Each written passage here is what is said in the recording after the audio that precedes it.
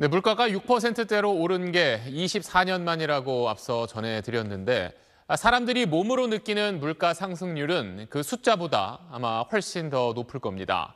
정부가 조사하는 방식이 현실을 제대로 반영하지 못하고 있다는 지적도 적지 않은데 그 이유를 한승구 기자가 짚어봤습니다. 푸드트럭을 몰고 전국을 다니는 이성민 씨는 물가가 너무 부담스럽습니다. 경유값은 휘발유보다 비싸진 지 오래. 고기, 감자, 양파값도 많이 올랐습니다.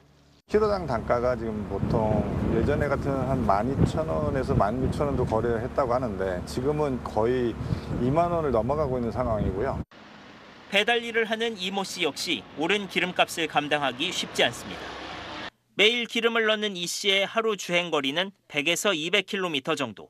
가득 넣는다는 기준으로 했을 때 정말 하루에는 많으면 4천 원 이상 차이가 나니까 한 달을 기준으로 잡아보면 거의 한 10만 원 돈 정도씩 차이가 난다고 생각하고 있어요.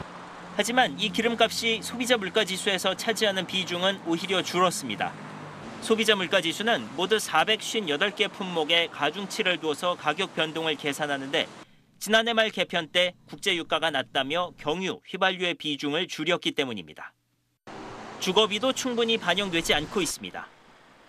소비자 물가 지수에서 주거비가 차지하는 비중은 전세 5.4%, 월세 4.4%로 총 9.8%입니다. 미국이나 다른 선진국들에 비해 비중이 크게 낮습니다. 자기 집에서 사는 비용, 자가 주거비가 빠져 있기 때문입니다. 우리 인플레이션은 어디서 시작됐냐면 부동산에서 시작이 됐어요. 근데 자가주거비가 소비자 물가지수에 빠져 있거든요. 6%라는 물가 상승률이 나와도 체감하기 힘든 거죠. 체감 물가는 실제로 그거보다 훨씬 높아요. 실제로 소비자 물가 지수는 정부 발표보다 1.5에서 2% 정도 높을 거라는 주장도 나옵니다. 통계청은 개편 필요성은 알고 있지만 먼저 다른 부처들과의 협의가 필요하다는 입장입니다. SBS 한승우입니다.